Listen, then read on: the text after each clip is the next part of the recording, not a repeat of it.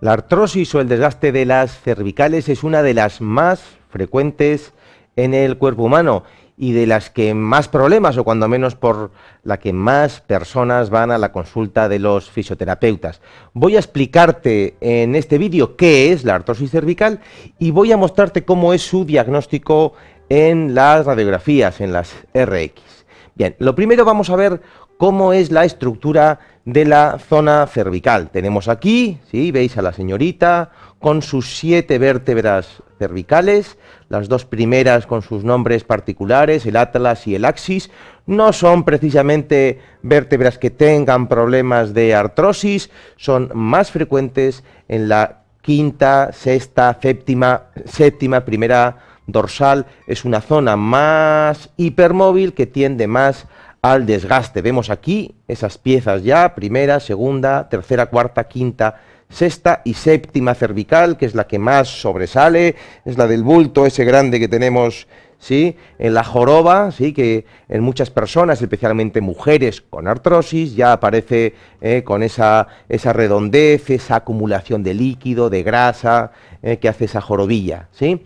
Y luego ya estaría la zona dorsal, primera dorsal, aquí abajo, Como te digo, la artrosis se da más frecuentemente en estos tres niveles, cuarta, quinta, eh, eh, quinta, sexta, séptima cervicales y primera dorsal.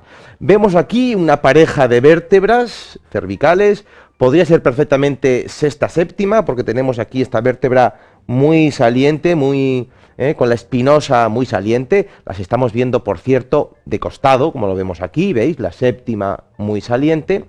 ¿Sí? Y tenemos dos elementos fundamentales en la vértebra a la hora del desgaste. Tenemos el disco intervertebral, es una almohadilla, no es precisamente como una almohadilla porque es mucho más dura, ¿sí? Pero es donde se da el movimiento, donde las vértebras juegan unas con otras para hacer los movimientos de flexión, lateroflexión y las rotaciones. Y luego las articulaciones interapofisarias, que es el otro lugar donde se da un deslizamiento aquí ya propiamente articular, de hueso con hueso, de cartílago con cartílago. La artrosis va a afectar tanto a uno como a otro eh, eh, estructura o nivel, ¿sí? Eh, pudiendo ser una uncoartrosis cuando es más en la zona del, del, disco, ¿sí? Y una artrosis facetaria cuando es en la posterior, pero generalmente cuando una vértebra está envejecida lo está por igual en los dos lados. Bien, una vez descrita un poco la zona cervical, vamos a ver qué es esto de la artrosis, ¿sí? Lo primero, ¿sí? Art es de articulación, artros, ¿eh? articulación en latín, y osis, que significa siempre destrucción o envejecimiento. Siempre que veas esa terminación de osis, habla de destrucción o envejecimiento. ¿sí?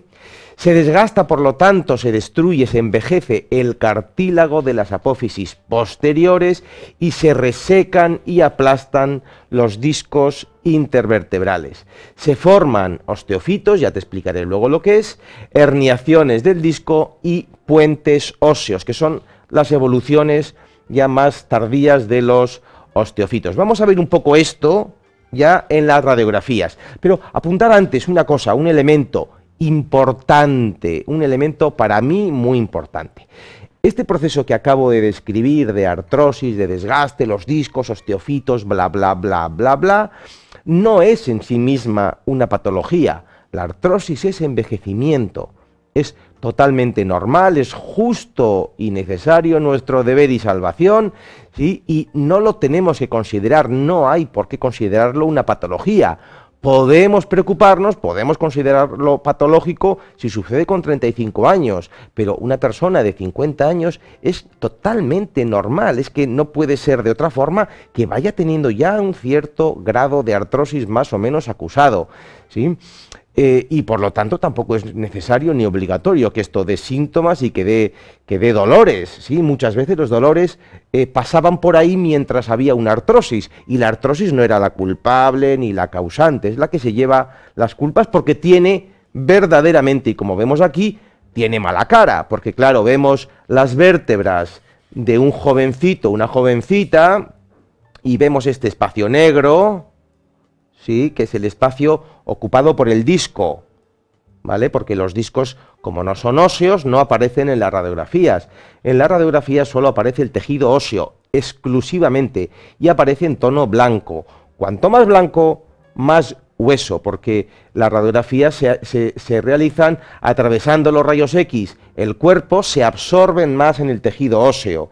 Cuando impactan los rayos sobre la placa, las zonas donde menos rayos caen quedan más blancas. Como el hueso absorbe mucho los rayos, aparece en tonos blancos. ¿sí? Siempre que veáis más blanco, hay más densidad ósea. ¿vale? Entonces tenemos los espacios bien jugosos de los discos, bastante conservados, ¿sí? No es un jovencito jovencito del todo, pero bueno, está bastante bien. Y vemos las articulaciones interapofisarias aquí atrás con sus espacios más o menos conservados. Eso es una columna más o menos joven. Claro, nos vamos a una columna envejecida y vemos ya aquí, por ejemplo, no sé si se ve, estos picos, estos son osteofitos, son ya salientes óseos, los osteofitos son formaciones óseas, se ve aquí un poco de grumo, ¿sí?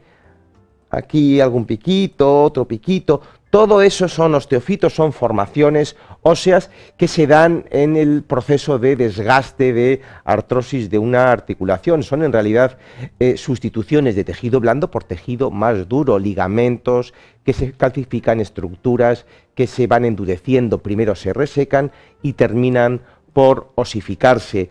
Vemos además aquí el espacio entre los discos disminuido, ¿sí?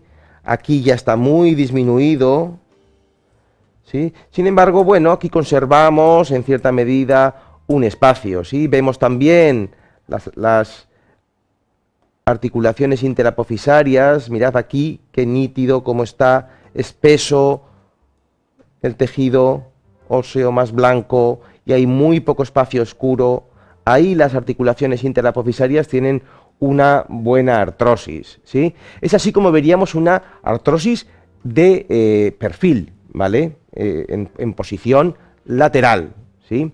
Vamos ahora a ver esto mismo, pero eh, en una vista anteroposterior, una placa hecha de frente. Vemos una radiografía jovencita, no me voy a extender aquí porque verdaderamente es mucho más complejo, pero sencillamente fijaros en que se ven los espacios aquí un poco oscuros, se ven ahí los pedículos, son esas formaciones redonditas a ambos lados, que es lo que une la parte anterior y posterior, y hay una cierta sensación de claridad, ¿sí?, de estructuras. Y nos venimos aquí a una eh, columna artrósica, ¿sí?, y tenemos espacios muy finitos entre vértebra y vértebra, muy aplastados, está todo todo empastado, aquí ya no se ve nada porque hay mucha calcificación, ¿sí? están los tejidos mucho más espesos. Esto es una columna eh, vista de eh, frente mm, ya bastante, bastante artrósica. ¿sí? Volvemos a ver esa limpieza de tejidos y esta espesura ¿sí? mucho más eh, embarullado en la radiografía. ¿sí? Y bueno, yo creo que esto es más o menos todo lo que quería eh, contarte eh, sobre este tema de la artrosis cervical. Espero que el vídeo te haya gustado y te animo de cualquier forma a buscar otro montón de vídeos con ejercicios, automasajes, consejos, a suscribirte en nuestro canal de Fisioterapia Online o visitarnos en nuestro portal de Fisioterapia Online.